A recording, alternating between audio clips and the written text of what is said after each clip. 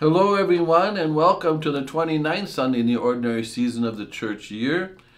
Today's gospel, James and John want to be the popular ones. They're looking for affirmation, they're looking for better position. They want to be known as the top apostles.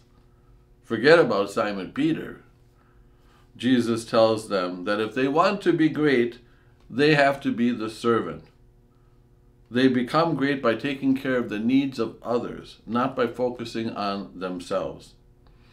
The lesson for us in today's gospel is if we want to feel good about ourselves and love ourselves, that will be much easier if we dedicate ourselves to the service of others. Serving others is an important part of our Christian life like to announce that coming at the uh, towards the end of this month on Saturday, November 26th, will be another children's mass at the 4:30 p.m. Saturday mass. So I encourage all of your parents to bring your children to that 4:30 p.m. mass on Saturday, October 26th. And following that children's mass, there will be the trunk or treat celebration uh, for the kids in the parking lot.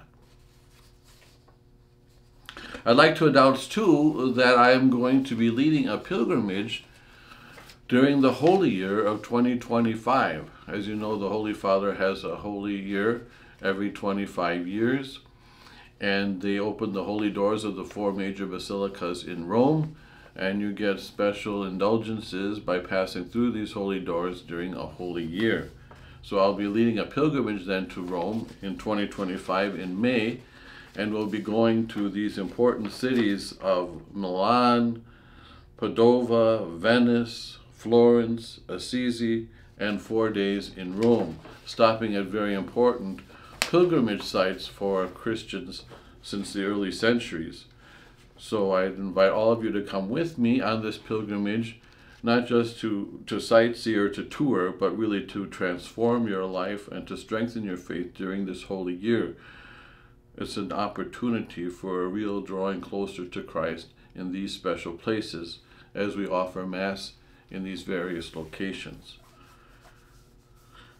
Cost of the trip is about $5,500, but that includes round trip airfare, all first class hotels, local transportation, breakfast and dinner every day, and of course daily Mass. If you have more questions or would like to know more, uh, me and Andrew Conklin, who is going to be the director of this pilgrimage with me, will be available at the back of the church to answer any questions this weekend. So look for us there with this flyer and brochure. And now please stand for the pro life prayer.